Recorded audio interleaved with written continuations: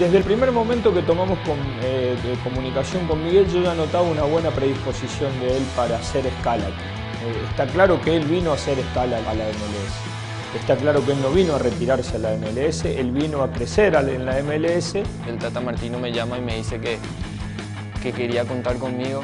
Eh, y nada, como dije, nunca dudé. cuando él me llama le dije que sí en, en primer momento. una experiencia muy linda. Eh, estoy viviendo algo que, que, no me imaginaba vivir de chico.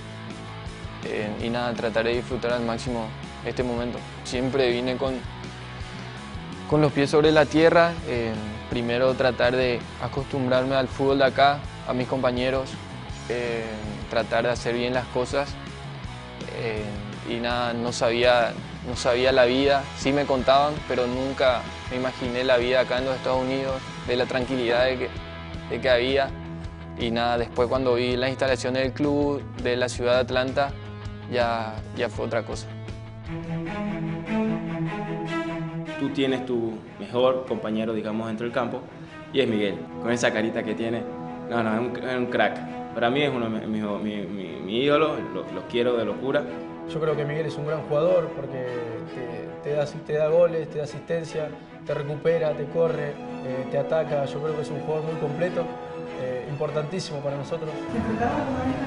Nos enfrentamos una sola vez y ganamos una serie y yo hice un gol, así que no le fue tan bien conmigo, pero bueno, él después le fue mejor, salió campeón, hizo un gol en la final.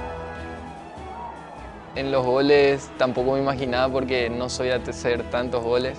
Eh, estoy muy feliz por eso porque creo que eso es gracias al profe Tata también que me pide a mí y a mis compañeros que, lleguemos siempre al área. Y nada, feliz por, el momento que, estamos viviendo.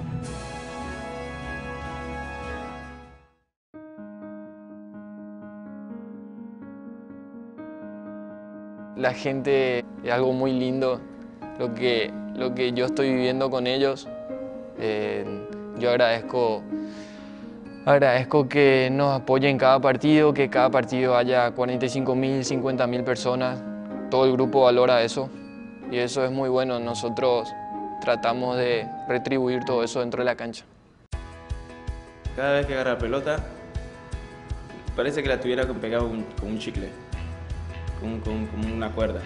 Nunca se le despega y la verdad que siempre tiene una sonrisa en la, la cara, las cosas vayan bien, vayan mal, él siempre está sonriendo.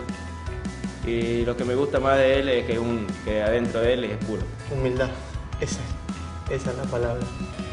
Es un chico callado que, bueno, tiene muchas ganas de, crecer. Eh, día a día lo demuestra con una sonrisa, llega al entrenamiento, está sonriente. Eh, y nada, nunca lo vas a ver mal. Estoy trabajando como para mejorar. Eh, creo que me falta muchísimo. Eh, me falta mucho para llegar a un nivel del que yo quiero. Ahora mismo me siento muy bien, pero como te dije, voy a trabajar duro para, como para mejorar lo que estoy haciendo.